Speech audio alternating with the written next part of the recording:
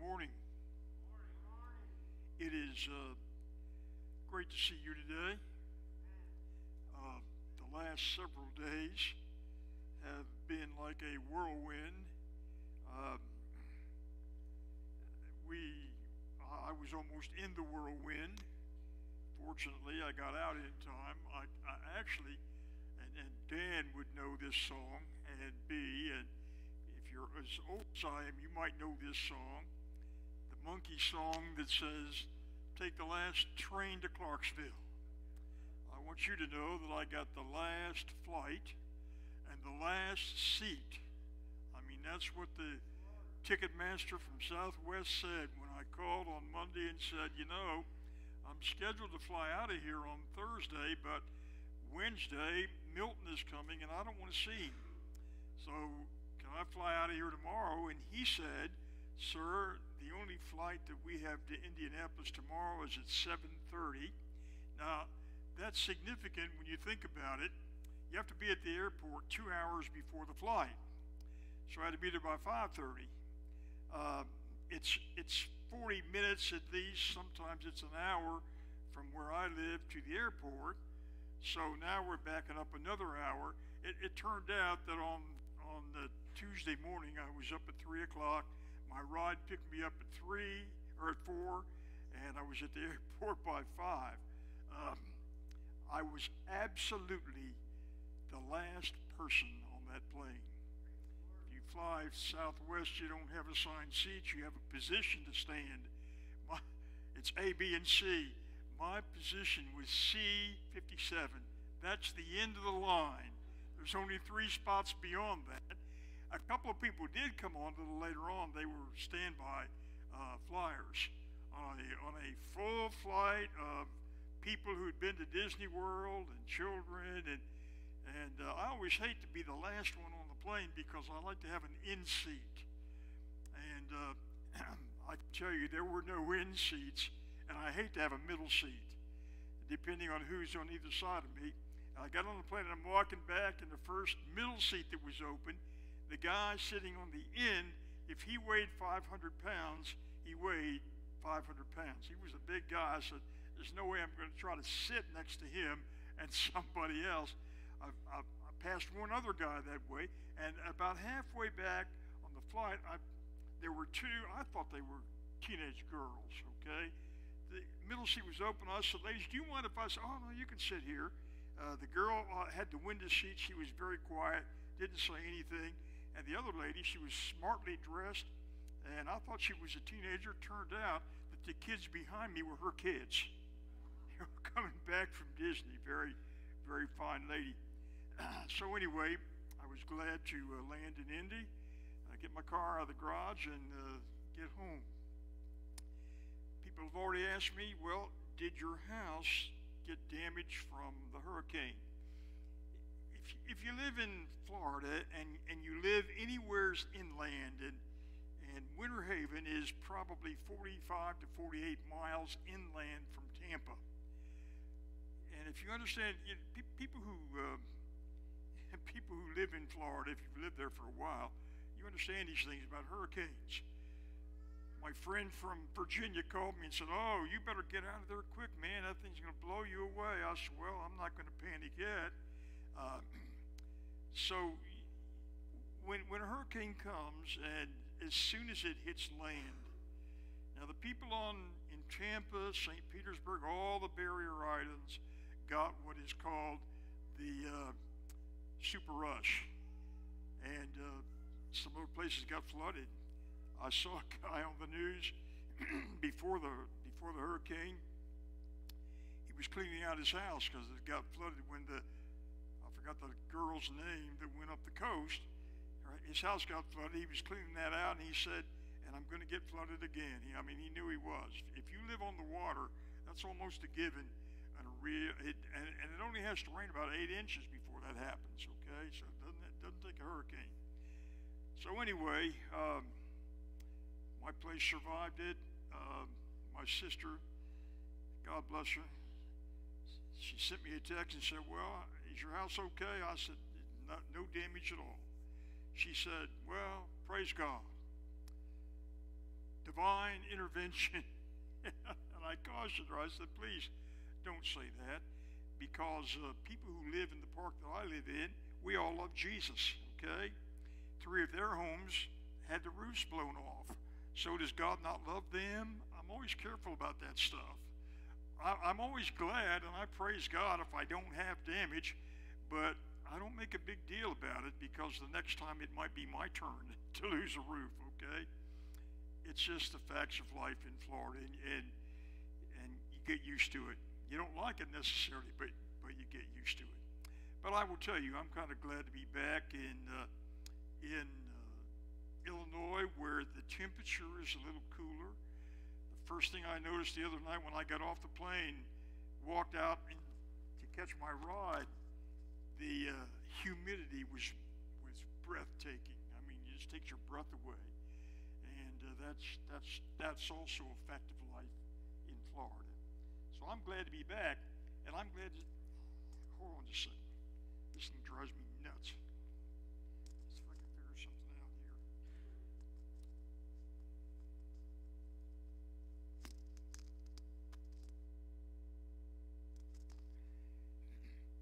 I'm glad to be back in, in Illinois, and I'm glad to see all of you again. So, here's what I'd like you to do this morning. I'd like you to, to turn to the person next to you and say, You look marvelous today. Go ahead, do it. You need, you got to mean it now. And, and okay, and, and if it happens to be your if it happens to be your husband or your wife that's sitting next to you, uh, there better be a, a note of sincerity in your voice, all right? Because I want you to go home and enjoy dinner today and enjoy the week, all right? Okay. All right. Seemed like there was something else I need to tell you, but uh, I forgot what it is. I'll think about it probably about 8 o'clock tonight. Want me to, I'll call you. When I was in Hampton, Virginia years ago at, at the Hampton Church of the Nazarene, uh, the guy that taught the adult class had the largest class in our Sunday school. He had 40 to 50 adults in his class every Sunday. His name was Wayne Kendall. I said to him one day, I said, Wayne, what do you what do you contribute the success to you always having 40 to 50 people in your Sunday school class every Sunday? He said, Well, Pastor, I'll tell you. He said, I get up at 5.30 in the morning. At 6 o'clock, I start calling them. And I say this to them. This is all I say when they answer the phone. I say, if you get up now and get ready, you won't be late for Sunday school. I said, boy, Wayne, don't people get frustrated with you calling them early in the morning? He said, well, they don't seem to, and they show up for Sunday school, so what can I say? I said, sounds, sounds like a winner to me. Okay, so I'm not going to call you at some ungodly hour. Okay? Well, I don't always preach off of my phone. Uh, I've got a bunch of sermons on there, and I was leaping through the other day, I said, man, there's some good sermons in here. What, what am I doing? So, uh, but I, I want to tell you a story today that that I, I'm confident. I, have told this story several times. the people that I'm going to tell you about are people that I know, and I not only know them, I'm related to them. I'm not only related to them, but it is my niece and her husband and what God did in their life. And, and I want you, if you brought if you brought a Bible with you this morning, uh, I don't know why I can't find anything brought a Bible with you this morning, turn, turn to the book of Hebrews, chapter, chapter 11. Now, you know this verse. I quote this verse uh, uh, occasionally when I'm thinking about uh, the subject of faith.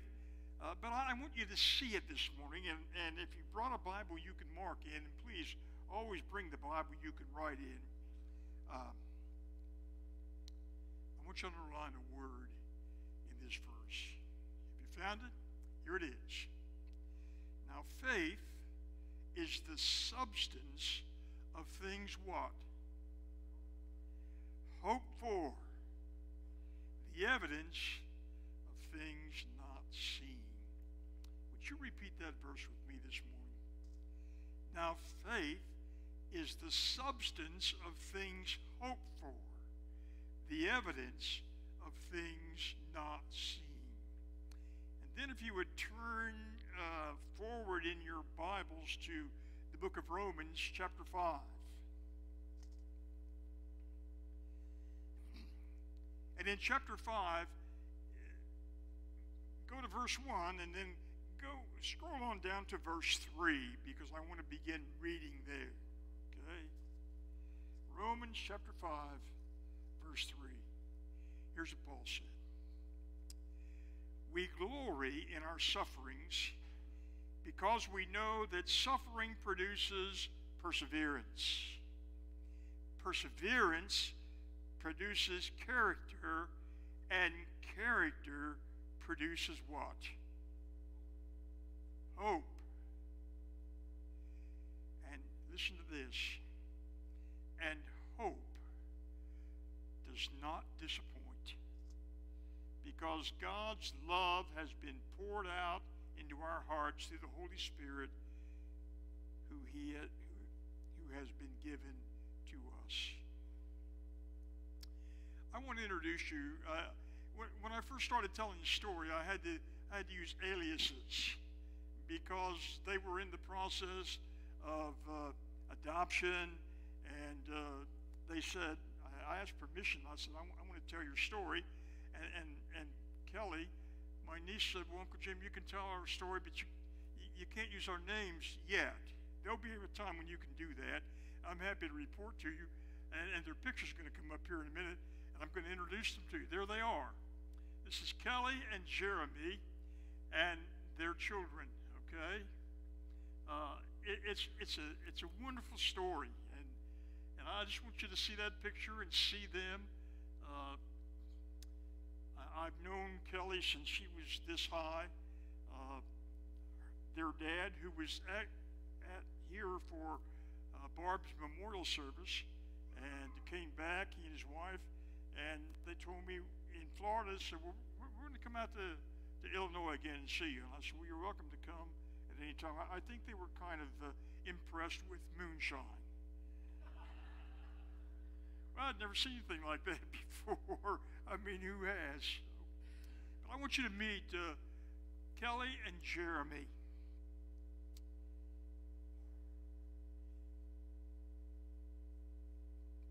Their dad was youth, uh, my youth pastor in South Carolina many moons ago. And when I got a call to Springdale, Arkansas, the church there said, Look, we understand you have a youth pastor. We have a bunch of kids.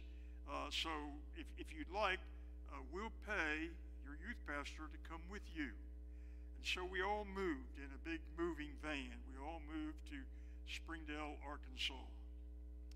When we moved there, the church didn't have a parsonage, and so we rented a house. And, and my brother in law, Jim, and his wife's name's Kathy, they rented a house, but not close to us, in another part of town. Uh, but the school was not good where they had rented their house, and so their kids went to school down the street from where we lived. And every day when uh, school was over, they would walk up and stay with Barb until Kathy, their mom, got off work, and she would come pick them up and take them home. So I, I have known Kelly and her sister Kate. And by the way, last uh, Saturday, drove down to Punta Gorda, where my brother-in-law has a condo, and I'd never seen his condo. We, my son and I drove down there uh, in my Miata, as a matter of fact, and uh, and my brother-in-law, or my, my son said to my brother-in-law, now look, you know, I've come down here to see your condo, but I've also come down here to eat some good fresh fish. Do you know a good place? And I'm telling you, we went to a dynamite place uh, and overlooking the bay and had some wonderful, wonderful seafood. It makes me hungry even thinking about it this morning. And Kate was there. Kate is the mother of four boys. I don't even have time to tell you about the adventures of her raising these four boys that she posted on Facebook. I reminded her of some of them, and we laughed about it. She said, Don't tell those publicly, please. And I'm not going to do that. Kelly and Jeremy. They, uh, they were teenagers, knew each other, went to church together, fell in love as, as later teens. And, and one day, Kelly called me and said, Uncle Jim, uh, Jeremy's asked me to marry him, and I, I've consented, but we want you to perform the wedding ceremony. And I said, Well, Kelly, I'd be glad to do that, but, but I always require premarital counseling for anybody that I marry. And, and I know we're related, and I know I know you. I don't know Jeremy all that well, but she said, Well, how can we do that? And, and so we worked it out. They came down from New Jersey and spent the weekend with us in Virginia I was so impressed when two young people, and we lived at that time in a in a parsonage that was two stories. We had four bedrooms. It was just Barb and so they came and stayed. And, and somebody said, "Well, aren't aren't you worried about them, you know, staying together? You know, uh, are are you keeping an eye on them?" I said, "You know what? I don't have to keep an eye on them. You know why?" Because these kids love Jesus when I see two young people who say to me, now, Uncle Jim, Jeremy, Jeremy and I, if you don't mind, uh, we're going to have devotions together before we go to bed. Well, who would mind that? Who would say, no, you can't do that? That's the quality of young people that Kelly and Jeremy were. What a wedding. I'm telling you, one of the biggest weddings that I've ever been a part of that took place in southern New Jersey where they live. Got married. And it wasn't long after they got married until Miss Emma came. Beautiful girl who is now, by the way, 15 years of age. I think that's her standing. Be, uh, let me see. No, that's her right there with the long curly hair in the dark. That, that's Emma. She's 15 now.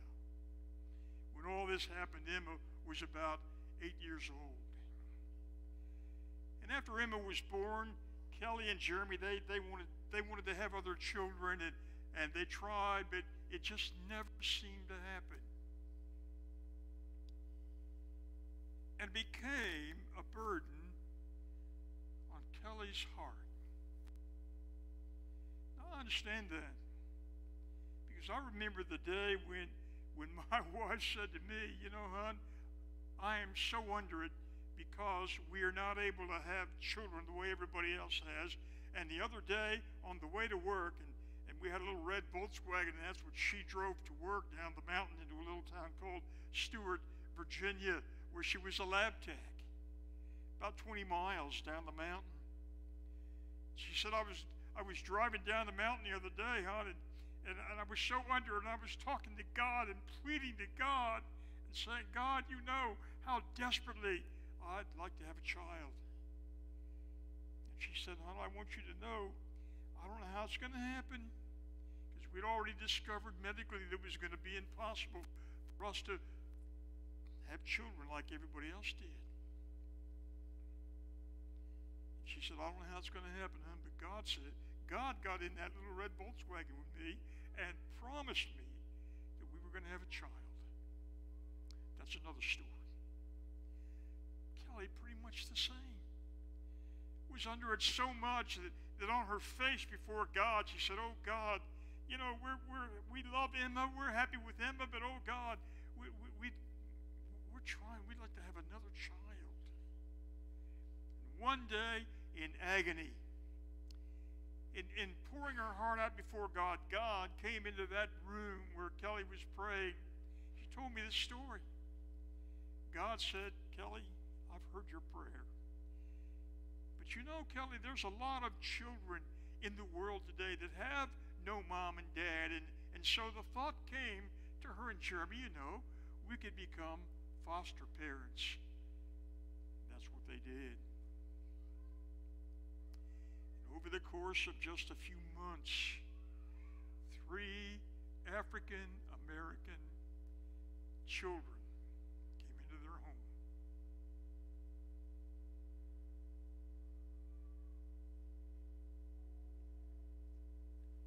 What a blessing. What a blessing. They were approved to be, be the, the foster parents of, the, of these children. One of them was a little girl who, when she came into Kelly and Jeremy's home, just just weighed uh, uh, six pounds. So when in the course of a few weeks and months, they went from one child at that time, age eight, to four little girls in their home. What is what is it the writer of Hebrews said? Now faith is the substance of what? Things hoped for the evidence of seen things not seen. And what did what did Paul say in, in Romans chapter 5? Paul said that hope does not disappoint. I will tell you this morning that hope does not disappoint for this reason. God is faithful. Do you believe that today? You, you see, I, I'm wondering this morning what you might be here hoping for. You say, well, Pastor, I'm, I'm, I'm hoping for a better life. Or, uh, or I'm hoping for a better job. Or, or I'm hoping to be physically healed of, of some sickness. Or, or I'm, I'm hoping to find spiritual healing in my life. I'm hoping for a wayward child, or in, in my situation, wayward children. hoping for that too. One of the things I always appreciated about Kelly and Jeremy, they never blamed God. They never said, Lord, you know, if you really loved us, if, if, if you really cared about us, why, we would have children. We, we, we would have more children the way everybody else has children. If you really, if you really cared for us, they, they never said that. They never, they never put the blame on God. They just simply trusted God and knew that somehow, some way, God was faithful and their hope that Paul said does not disappoint, someday, somehow, would be realized. And as they hoped, and as they trusted in God, and as they prayed, they did three other things. That if you're hoping for something this morning, you need to do as well, and I need to do as well. And here it is. First of all, they knew that hope serves faithfully. T.D. Jakes African American pastor, pastors the Potter's House in Dallas, Texas, said this As Christians, we are servants. And when we are faithful to serve God, God rewards us, listen to this, by fulfilling that which we hope for. You see, Kelly and Jeremy could have got mad at God. Kelly and Jeremy could have said, God, you know, if that's the way you're going to treat us. We're not, we're, we're just going to live for ourselves. We're not going to serve. They never said that.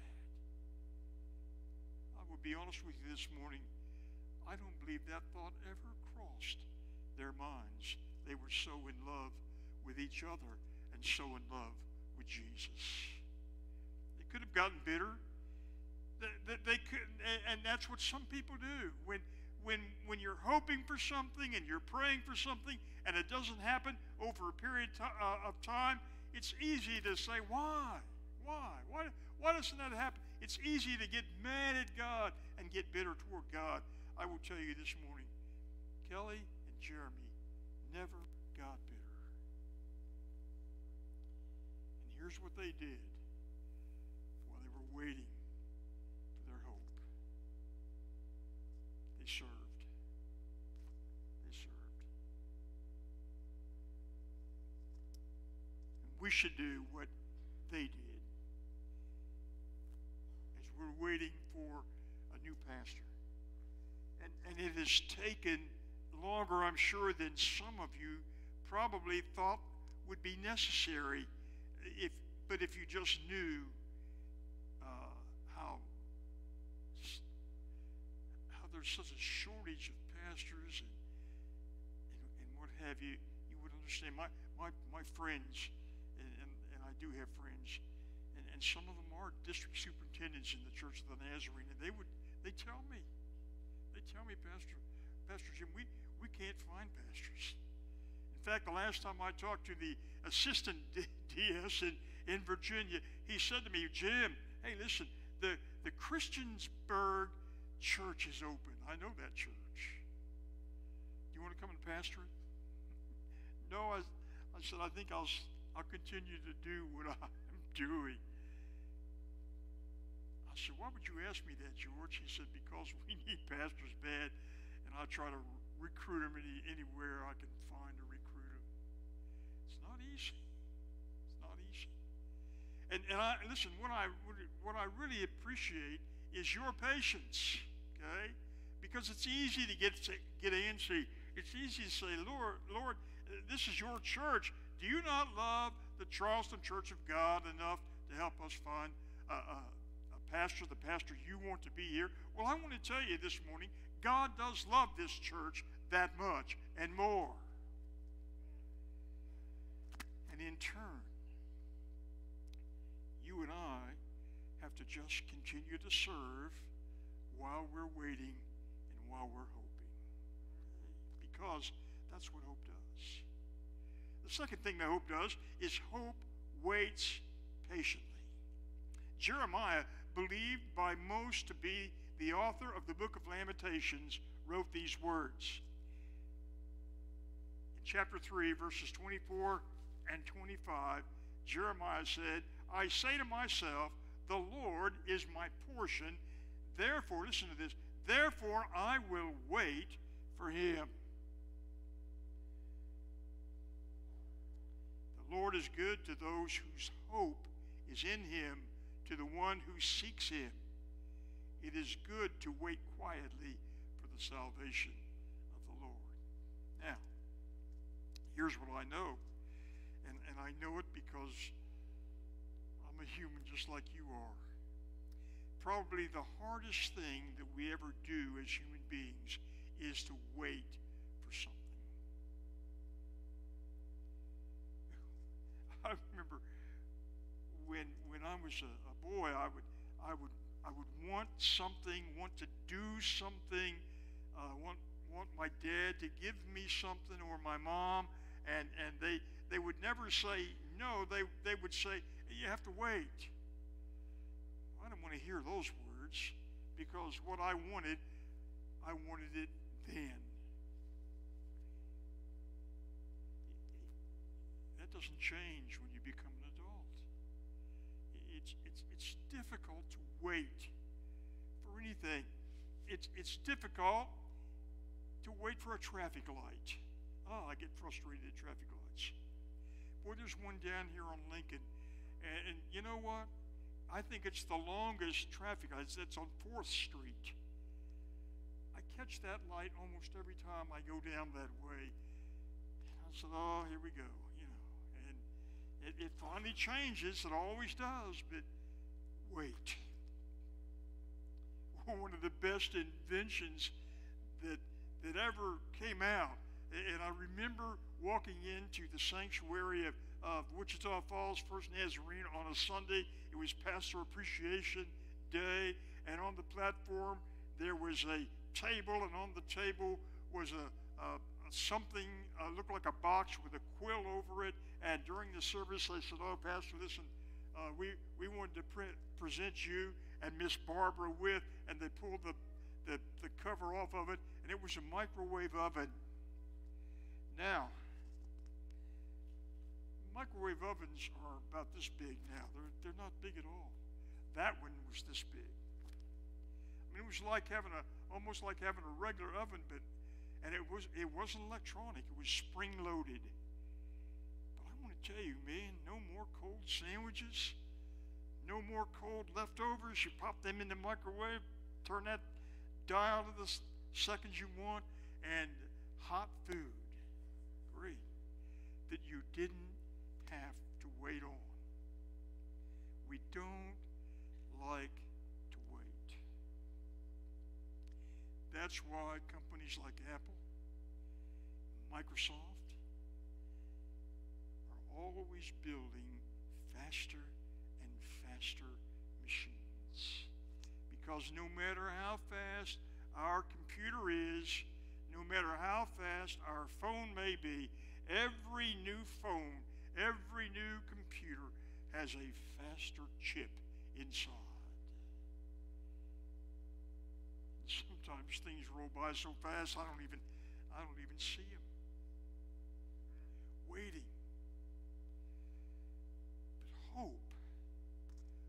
Waits patiently.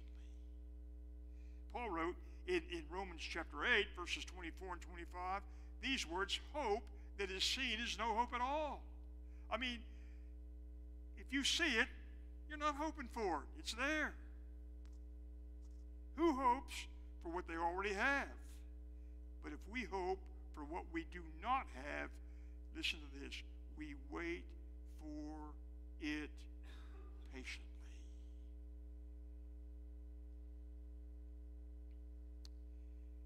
Then, thirdly, Kelly and Jeremy discovered that hope is rewarded. I, I used this word, and then I thought, man, you know, I don't know, I'm not even sure that's a word. But I looked it up in the dictionary, and it is. Hope is rewarded grandly, which means in a big way, in a majestic way, on a grand scale, awesomely, breathtakingly, impressively all of those are from Webster's dictionary. When we practice the definition of faith, God rewards us in ways that are beyond our comprehension. Amen. How many of you believe God for something and you not only God not only answered your prayer, but he he added to that?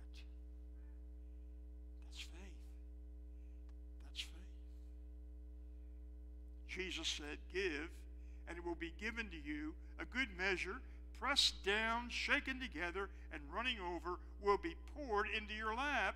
For with the measure you use, it will be measured to you.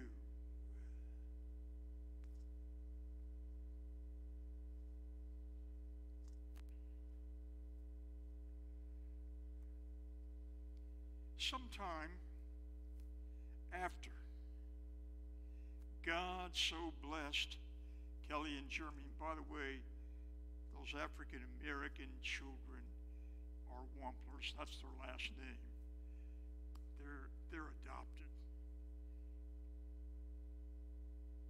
When Kelly sent me the picture, she sent me two pictures, one with their faces that you saw this morning, and the other with, with little hearts on the faces of the children. She said, Uncle Jim, I, we're, we're concerned if, if you're streaming uh, on Facebook, we're, we're concerned about, and, and, I guess there is a concern that, that uh, child predators monitor Facebook for children.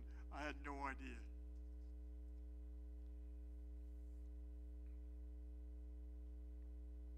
So they were out there. Kelly was at her dad's.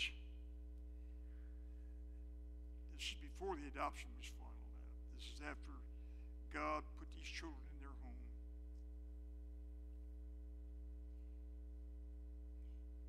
brother-in-law who was here said to Kelly, Kelly, are you all right, honey? You, you look, you don't look well. Are you okay? She said, well, I haven't been feeling well the last few days. My stomach's been upset. My father-in-law said, uh, Kel, do you, do you, my brother-in-law, I'm sorry. My brother-in-law said, Kel, do you suppose that you Dad, are you kidding me? All of these months that turned into a, a, couple of years that we tried and tried and tried and nothing ever happened, and you're asking me that question. Are you kidding? And on the way home, Jeremy said, Well, huh? You are. Let's check. So they stopped at a drugstore, got a pregnancy test, took it in the took it, and guess what? Kelly was pregnant. And and then oh the picture's gone. And in the picture, there's a little guy in the front. He has strawberry blonde hair like his mama. Little freckles like his mama. Grayson, who's now six years old, born into that family. I'm telling you, if your faith and your confidence is in God, whatever you're hoping for, if you'll keep on hoping, if you'll keep on serving, if you'll keep on waiting patiently and keep on trusting in God, listen, God rewards those who faithfully seek Him believe that today? I tell you, I believe that with everything that's in me. And the reason I believe that is the Bible says it's true, and I believe it for that reason. But I've lived long enough now and have experienced those kinds of situations happening in my life and in the life of my family until I know it's true. It's not something that I, I guess about anymore. It's something that I know is true.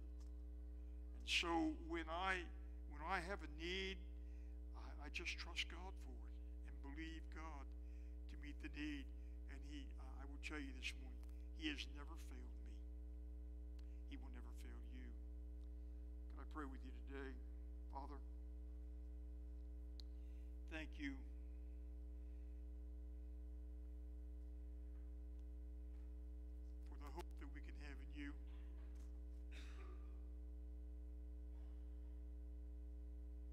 Songs that were sung this morning actually speak to that. Speak to the faith that we can have in you. I, I couldn't help but, but think about that old gospel songwriter who wrote, My hope is built on nothing less than Jesus' blood and righteousness on Christ, the solid rock I stand.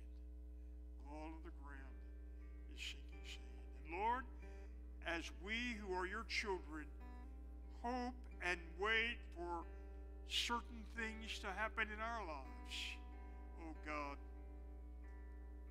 help us to be faithful, faithful to keep on serving, faithful to wait patiently for it, and know, and know that if we will serve and wait patiently, we will be rewarded this precious family. Thank you for the story that, that they uh, have told with their own lives, Lord, and, and the encouragement that it has been as I've shared this story in many places to other people.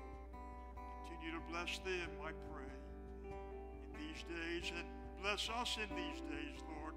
Oh God, out there somewhere, I, I believe it with everything that's in me. Out there somewhere is that person who is to be the pastor of this church. Help us to continue to hope, to continue to wait patiently, to continue to keep on serving, doing our part, Lord. This is the church. Yes, the church needs a pastor, but it needs faithful attenders to look after the business the church and to continue doing the work of the ministry. Help us to be faithful as we hope and as we pray. For we ask it in your wonderful name today.